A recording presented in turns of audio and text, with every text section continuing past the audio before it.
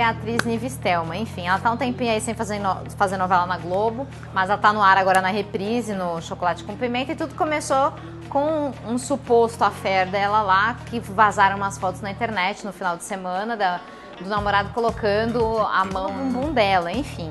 Aí o assunto começou, rendeu foto, aquelas fotos básicas e tal, só que tudo ia bem, até que uma outra global, Karina, que enfim, ela fez a novela Aquele Beijo, ela faz algumas pontas assim na Globo, mas enfim, já é, quase faz parte dos elencos fixos do Miguel Falabella. O Falabella sempre dá um jeitinho de encaixar em algum lugar. E até que essa moça resolveu sair falando e a coluna foi atrás dela. O que, que aconteceu? Na verdade, a Karina ela estava ficando com o Leonardo, que é esse rapaz que, que a Nive Stelma tá ficando, enfim, namorando, como ela já está dizendo. E a Karina contou que ele, ela estava ficando com esse rapaz e ela não sabia que ele estava também se envolvendo com a Nívia.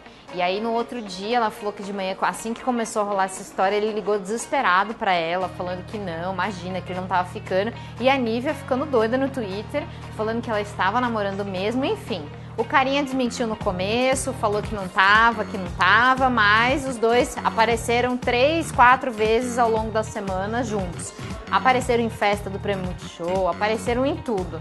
E parece que oficialmente então a coisa engatou. E se não bastasse toda essa exposição, Dona Nívia foi sondada para posar para Playboy. E depois de já algumas negativas, ela confirmou para a coluna que ela tá negociando sim, que ela tá com tudo em cima e por que não mostrar. Então tá bom, né?